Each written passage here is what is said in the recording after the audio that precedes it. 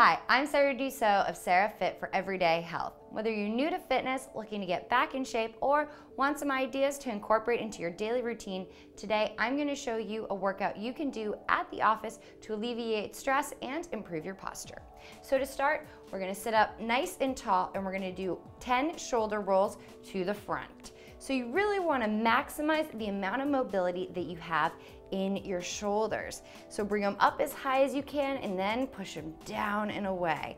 Once you do 10, we're gonna do 10 shoulder rolls to the back. And this feels really good. If you wanna do more than 10, by all means, go ahead. And so really bring them up as high as you can and then push them down and away. After we've done 10 rolls, we're gonna do 10 shoulder shrugs. You're gonna bring your shoulders up as close to your ears as you can and then push them down and away. So bring them up. And you can even use your hands to really maximize the amount that you can really lower them. And come back up and down. We're gonna do that 10 times.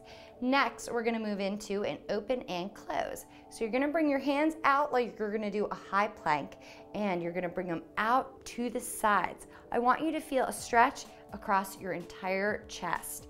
So bring them forward and then bring them back, as far back as they'll go, pinching your shoulder blades back and together. Now, if you keep your hands straight like this, you're not gonna feel a stretch in your bicep. But if you take your wrists up like this and flip them up towards the sky, you're gonna feel a little bit of a stretch in your arms.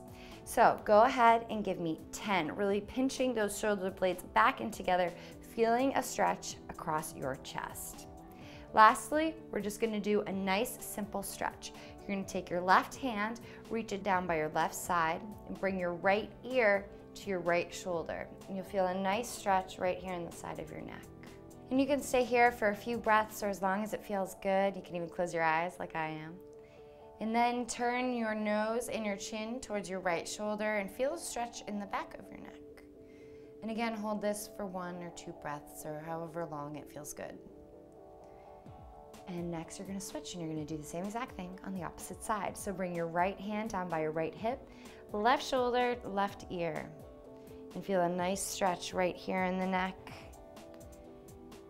And hold it here for a few breaths and then turn your head ever so slightly so that your nose and your chin are pointing down towards your shoulder. Feeling a stretch in the back of the neck. And you are all done. See, I'm so much more calm after even just showing you guys these exercises. If you liked this video, don't forget to subscribe to Everyday Health's YouTube channel and let us know in the comments down below if you enjoyed this sequence and whether or not you felt as zen-like when you finished as I did. We'll see you soon.